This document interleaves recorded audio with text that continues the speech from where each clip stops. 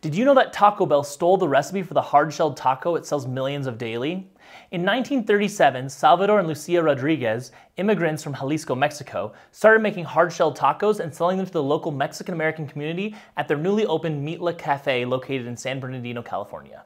Then, in 1948, an ambitious 25-year-old American named Glenn Bell moved from Minnesota and opened a hamburger and hot dog stand across the road from the Mitla Cafe.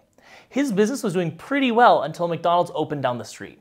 Bell's business got less and less busy, but he would always see that there was a line out of the Mitla Cafe. They were all waiting for those delicious hard-shell tacos.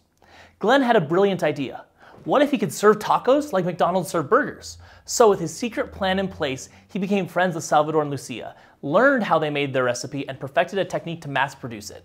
Soon enough, his tacos were selling like crazy, and seven years later there are over 7,400 Taco Bells and still only one Mitla Cafe.